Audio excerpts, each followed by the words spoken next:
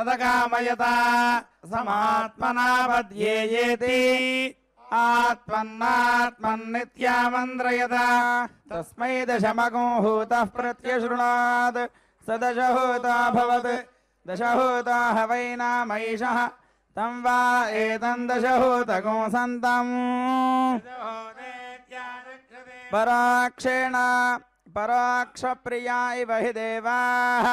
आत्मन्नात्मन्नित्यामन्त्रयता तस्मै सप्तमगो हूतः प्रत्यशृणोत्।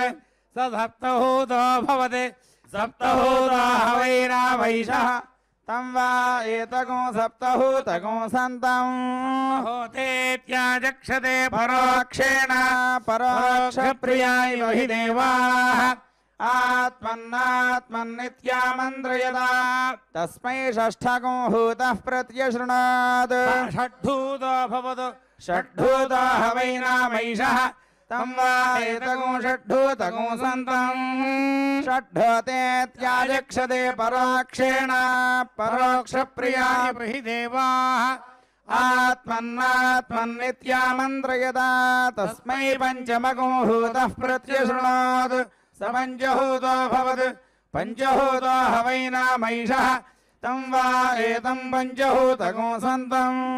पञ्चहोते त्याजक्षते पराक्षेण पराक्षप्रियाय वहि देवात्मन्नित्या मन्त्रयदा तस्मै चतुर्थगुं होतः प्रत्यशृणोत्। स चतुर्हूतो भवति।